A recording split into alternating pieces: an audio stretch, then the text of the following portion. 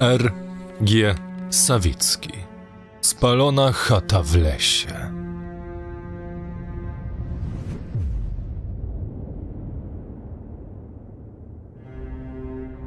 Od zawsze fascynowało mnie to, co ekstremalne. Nie mam na myśli takich rozrywek jak skoki ze spadochronem czy szybka jazda po autostradzie. Chodzi mi o przeżycia, które zostawiają w psychice trwałe ślady. To znaczy, o ile człowiek wyjdzie z nich z życiem. Zaczęło się od zainteresowań historycznych. Piekło wojen, obozów koncentracyjnych, rządy dyktatorów, tortury stosowane w dawnych czasach, ale nie ograniczałem się do złowrogich przejawów ludzkiej działalności. Zagłębiałem się również w historie związane z eksploracją tego, co nieznane. Tragiczna w skutkach ekspedycja Roberta Scotta na biegun południowy i lot Apollo 13 to tylko nieliczne przykłady wypraw, którymi się interesowałem.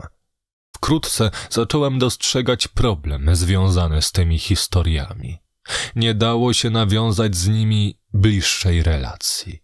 Nie mogłem przeżyć tego, co na przykład reporter wojenny. Byłem skazany na siedzenie w książkach i oglądanie filmów dokumentalnych. Do czasu, aż uświadomiłem sobie, że jednak mogę badać to, co ekstremalne w bardziej namacalny sposób. Wystarczyło zmienić obiekt zainteresowań z wydarzeń sławnych i historycznych na bardziej przyziemne. Chodziło o takie zdarzenia, które zazwyczaj trafiały jedynie do lokalnych gazet. Wypadki i zbrodnie. To dlatego, mimo paskudnej pogody, wybrałem się w długą podróż do leżącej na granicy województwa lubelskiego i podkarpackiego wsi Pary. A ściślej rzecz ujmując, do znajdującego się nieopodal lasu, w którym w zeszłym roku doszło do, jak to opisały media, brutalnego, rozszerzonego samobójstwa.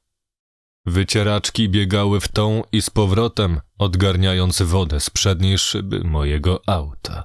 Wyobraziłem sobie, jak byłoby malowniczo, gdyby zamiast deszczu padał śnieg. Niestety, obecna zima różniła się od jesieni jedynie brakiem liści na drzewach. Po obu stronach wąskiej i pozbawionej pobocza drogi rozciągały się pola. Widok nieciekawy, tym bardziej, że z powodu ulewy nie mogłem dostrzec żadnych szczegółów.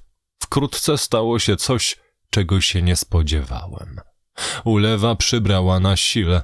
Mój Volkswagen Polo miał już swoje lata, ale utrzymywałem go w jak najlepszym stanie. Nic to nie dało. Wycieraczki po prostu nie nadążały z oczyszczaniem przedniej szyby z potoków wody. Miałem wrażenie, że lada moment złamiał się pod jej ciężarem. Dzwoniłem i zacząłem się rozglądać za miejscem na postój. Serce zabiło mi szybciej, bo naprawdę niewiele widziałem.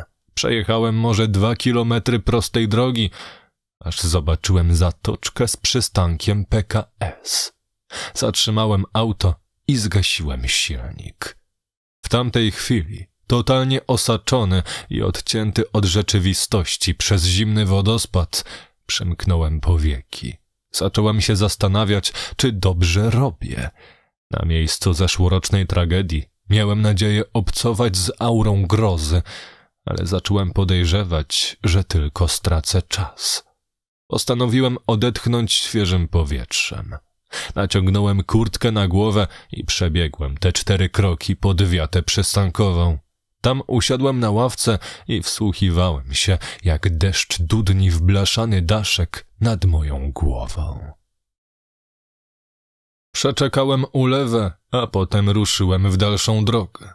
Do zmroku zostało jeszcze dobrych parę godzin, więc miałem nadzieję znaleźć miejsce docelowe, obadać je w świetle dnia i wieczorem pojechać do domu.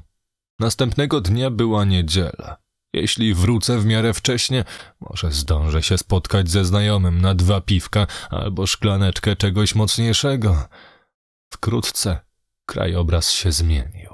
Przed sobą wciąż miałem prostą, niezbyt szeroką drogę, ale po obu jej stronach pojawiły się zabutowania. niskie budynki, zdaje się domki jednorodzinne. Większość otoczona była płotem, metalowym lub drewnianym, niektóre zwykłą siatką ogrodzeniową. Część gospodarstw wyglądało na typowo wiejskie. Po podwórkach biegały kury, a w głębi stały stodoły i ciągniki rolnicze.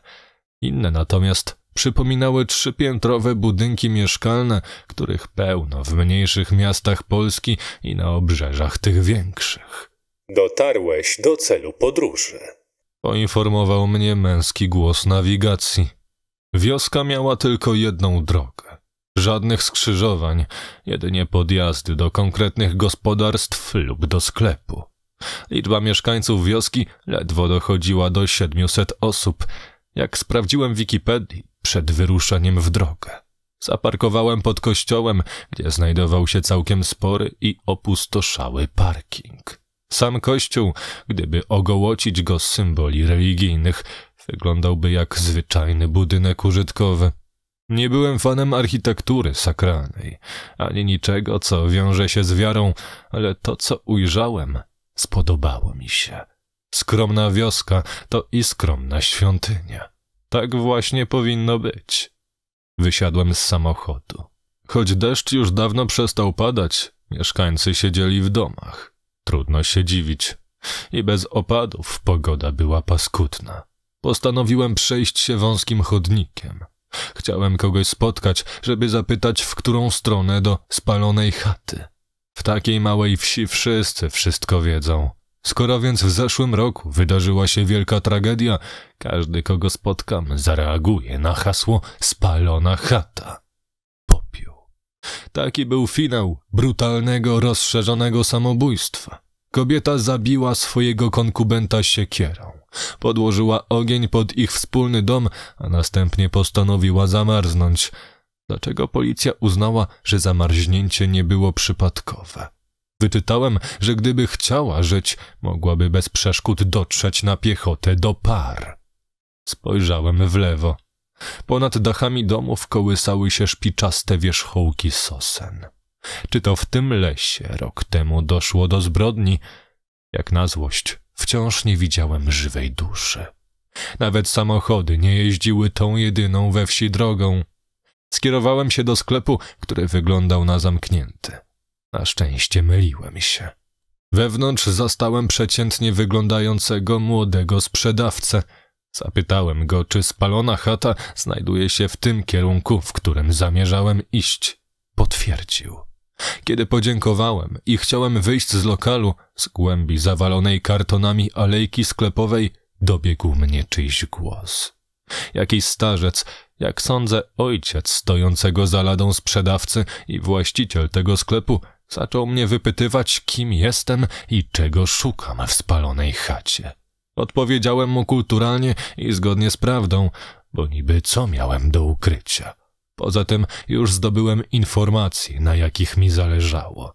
Mężczyzna był niegroźny, ale irytowała mnie jego dociekliwość. Nie miałem całego dnia na pogaduszki. Powiedziałem mu, że chcę tam dotrzeć szybko, zrobić parę zdjęć, póki jest jasno, a następnie wrócić do siebie. Tym oraz mową ciała subtelnie komunikowałem mu, że uważam rozmowę za zakończoną. Starzec zdawał się tego nie dostrzegać. Przestrzegł mnie przed spaloną chatą. Powiedział, że dzisiaj jest rocznica tragedii, a to źle wróży. Wiedziałem o tym, niby co z tego. Piadolił też coś o pełni księżyca. Pierwsza rocznica w połączeniu z pełnią miały tworzyć idealne warunki dla działania złych sił. Na starość każdy żyje trochę we własnym świecie. Zanim opuściłem sklep, podziękowałem mu za radę. Dosłownie chwilę później szedłem w kierunku lasu i spalonej chaty. Skręciłem w drogę gruntową, która po ulewie przemieniła się w grzęzawisko.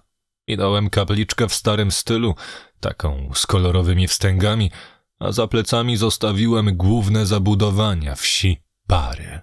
Przeszedłem jeszcze przez niewielki drewniany most, niewykluczone, że zabytkowy, aż stanąłem na skraju lasu. Wyrastająca przede mną ściana drzew prezentowała się mrocznie i nieprzystępnie. Sosny sięgały wysoko, a ich czubki kiwały się na wietrze w prawo i w lewo, co przypominało mi o wcześniejszym tańcu moich wycieraczek w czasie ulewy. Teraz nie padało, a z pomiędzy chmur przebijało się czasem słońce. Wiedziałem, że kiedy wkroczę w gęstwinę, zrobi się dużo ciemniej. Mimo iż nie wierzyłem w zabobony, którymi zanudzał mnie starzec, zanurzywszy się w las i zostawiwszy za sobą otwartą przestrzeń, poczułem się nieswojo. Wędrowałem udeptaną ścieżką i bardzo szybko przekonałem się, że odnalezienie spalonej chaty wcale nie będzie takie proste. Minąłem już jedno leśne gospodarstwo i szedłem dalej, aż ścieżka zmieniła się w wąską przecinkę, żeby wkrótce całkowicie zginąć pomiędzy gęstymi krzewami. Podejrzewałem, że chata, której szukam, znajduje się jeszcze dalej. Droga do niej zarosła, ponieważ nikt już tam nie chodził. To było dla mnie oczywiste. I chętnie przedarłbym się przez zarośla, gdyby nie fakt, że zaczęło się ściemniać. Pierwotnie zakładałem, że zdążę do zmroku, ale nie wziąłem poprawki na to, że w zimie ciemność nadchodzi bardzo szybko. Gdybym rzucił się biegiem w gąszcz, może i doszedłbym do celu, ale na zrobienie dobrych zdjęć i tak byłoby już zbyt późno. O ile wcześniej w samochodzie miałem wątpliwości co do sensu mojej wycieczki, to teraz za nic nie chciałem wracać. Uznałem, że prześpię się na fotelu w aucie i wrócę tu rano. Rozpocząłem powolną drogę powrotną. Po chwili usłyszałem głuche łupnięcie, a potem następne i jeszcze kolejne. Ktoś rąbał drewno. Wróciłem do leśnego gospodarstwa, które minąłem wcześniej i rzeczywiście ujrzałem sylwetkę z siekierą w rękach. Układała na pniaku kawały drewna, następnie unosiła topór i ekonomicznym ruchem upuszczała go w dół. Za każdym razem kloc drewna pękał na dwie, w miarę równe części. Bliżej przyjrzałem się gospodarstwu. Składała się na niej jedna chata, kurnik i buda dla psa, której wcześniej nie widziałem. To ostatnie mnie zaniepokoiło, gdyż nie dostrzegłem nigdzie ogrodzenia. Pies musiał być na łańcuchu. Potem stukanie siekiery się skończyło i słyszałem tylko odgłosy lasu. Osoba dostrzegła mnie. Zostawiła narzędzie przy pniaku i zbliżyła się tak, że mogłem wreszcie dostrzec jej twarz. To był mężczyzna, między czterdzieści a pięćdziesiąt lat. To dziwne, ale zrobił na mnie wrażenie osoby zadziwiająco silnej i równocześnie chorej. Stał pochylony do przodu, jakby bolały go plecy, mimo to jego ruchy były energiczne – Facet miał smutne, zmęczone oczy. Trochę jak ja w każdy poniedziałek w biurze. Powiedziałem mu, że jestem tu w celach turystycznych. Odrzekł, że o ile w lecie i na wiosnę ludzie chętnie przyjeżdżają do par na spływy kajakowe, to widok turysty w styczniu jest co najmniej dziwny. Na szczęście nie drążył tematu. Zaproponował mi nocleg za pięćdziesiąt złotych. Spojrzałem na chatę. Mogłem się założyć, że nie prowadzi działalności agroturystycznej, a przynajmniej nie ma jej wpisanej w PKD. Facet chciał skorzystać z okazji. I ja nie miałem nic przeciwko. Tym bardziej, że po nocce w moim małym aucie byłbym nieźle sponiewierany, a ta chałupa wyglądała przynajmniej na przytulną. Z drugiej strony miałem zapłacić pięć dych za niski standard. Nie mam pieniędzy, skłamałem, ale mogę panu odpracować. Spojrzałem wymownie na stertę drewna. Mężczyzna uśmiechnął się niewyraźnie i wyciągnął dłoń na znak, że się zgadza. Lubiłem tę robotę. Nie szło mi tak dobrze jak gospodarzowi, ale to bez znaczenia. Prawidłową technikę znałem już wcześniej. Trzeba było dobrze ustawić kawałek na pniaku i celnie trafić, bez użycia siły, bo sam ciężar siekiery wystarczał do rozrąbania drewna. Praca fizyczna stanowiła miłą odskocznię od tego, co czeka mnie w poniedziałek. Pozwalała się wyluzować, odpłynąć myślami w kierunku, które podpowiadała mi podświadomość. Pomyślałem, że zabicie kogoś siekierą wcale nie musi być takie łatwe, jak się wydaje. Narzędzie, które trzymałem, miało postrzępione ostrze, wypracowane od dziesiątek uderzeń każdego dnia przez wiele lat. Boki głowicy szpeciła rdza. Do rąbania drewna nadawało się świetnie, ale na rąbanie ludzi ostrze było chyba zbyt grube. Pomyślałem, że człowiek zaatakowany taką siekierą mógł równie dobrze zginąć od ran rąbanych, co miażdżonych. Zostało mi sześć kloców do porąbania. Postanowiłem chwilę odpocząć. Dookoła panowała już noc. Tylko światło z wnętrza chaty, wydobywające się przez okna, pozwalało mi pracować jako tako bezpiecznie. No i ogromny księżyc w pełni, który wisiał tuż nad lasem. Pies nie zaszczekał ani razu na moją obecność. Albo był stary i cały czas siedział w budzie, albo w ogóle go nie było. Kurnik również stał pusty, co do tego nie miałem wątpliwości. Do tej pory zobaczyłbym jakąś kurę albo usłyszałbym odgłosy. Nic dziwnego, że zwierzęta pouciekały, skoro brakowało ogrodzenia. Zaśmiałem się. Potem spojrzałem na pogrążone w mroku sosny. Zlewały się w jedno. Ich szum, miarowy i jednostajny, sprawiał wrażenie, jakby to las oddychał jakimiś wielkimi płucami. Wydawał mi się taki niezbadany, pierwotny. Wróciłem do pracy. Po robocie podszedłem do drzwi chałupy. Mężczyzna otworzył i zaprosił mnie życzliwym gestem do środka. Zdjąłem buty i w zamkniętych skarpetach wkroczyłem do głównej izby. Jeszcze chwilę temu nic sobie nie robiłem z mojego wyglądu, ale teraz poczułem wstyd. Oto przy stole stała kobieta, zdecydowanie starsza ode mnie, ale dużo młodsza od gospodarza. Jedną dłoń trzymała wzdłuż tułowia, a drugą położyła na blacie, muskając go palcami, jakby chciała poczuć fakturę drewna. Miała ciemne, kręcone włosy i rysy twarzy tak piękne, że patrzenie w jej oczy wydawało mi się niestosowne. Jego córka? Chyba nie. Musiałby zostać ojcem w bardzo młodym wieku, ale i takie historie się zdarzają, więc kto wie. Jedno uznałem za pewne.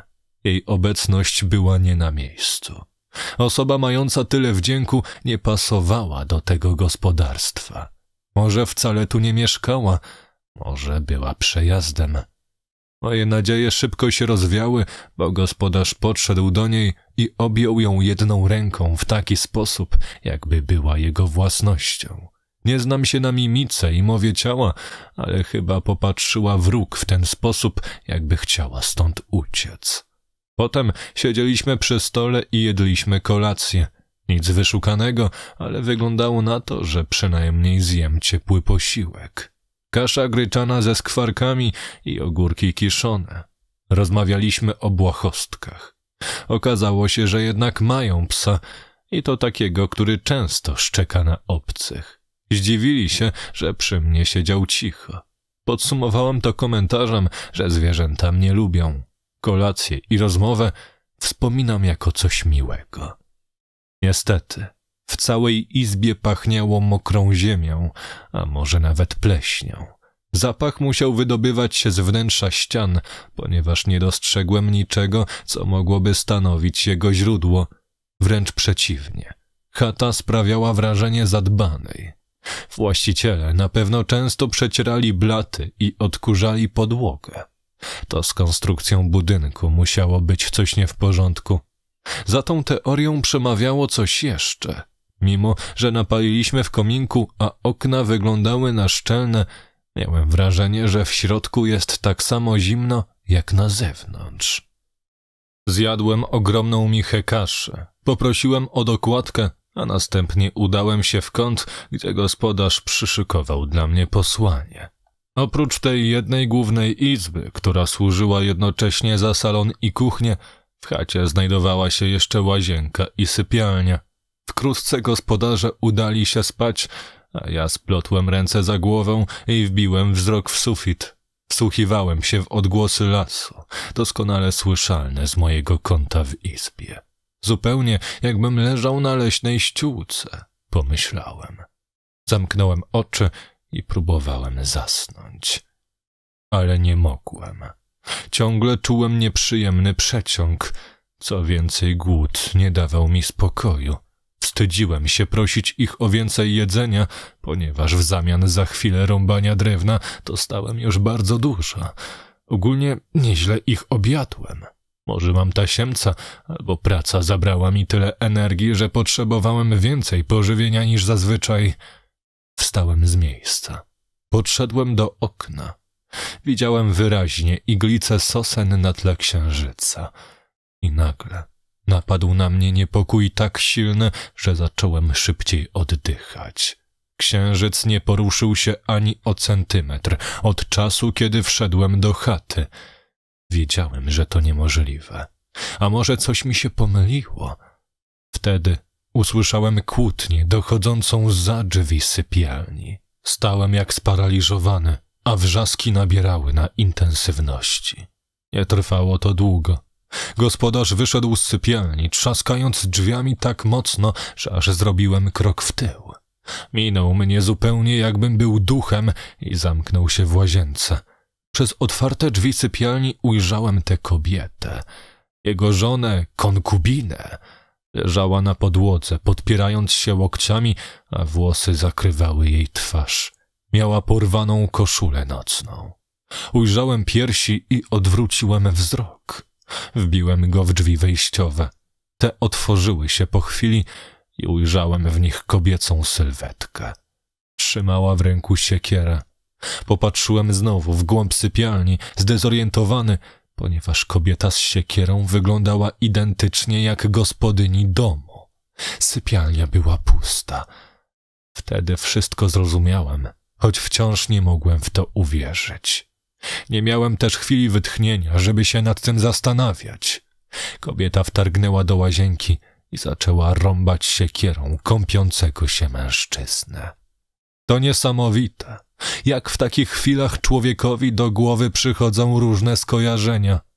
Przypomniała mi się historia Agamemnona i Klitajmestry, potem moje własne, niedawne doświadczenia związane z rąbaniem drewna, a potem już tylko patrzyłem, jak zaczarowany. Ona unosiła topór nad głowę raz po raz i spuszczała go do wanny. Na oślep, bo czarne jak noc włosy zakryły jej oczy. Mężczyzna próbował wygramolić się na zewnątrz, lecz ślizgał się i co rusz z powrotem lądował w czerwonej już wodzie. Najpierw nie widziałem krwi, bo kobieta tłukła go brzegiem ostrza, ale wkrótce poprawiła chwyt i zaczęła się rzeźnia. Po którymś z kolei ciosie wyszarpnęła narzędzie zbrodni z ciała swojego konkubenta z taką siłą, że grube, czerwone krople chlusnęły mi w twarz. To wtedy uznałem, że mamy dość.